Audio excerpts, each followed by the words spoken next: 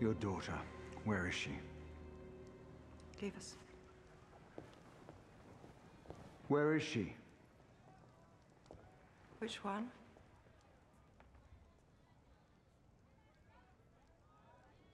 Your Grace, which one?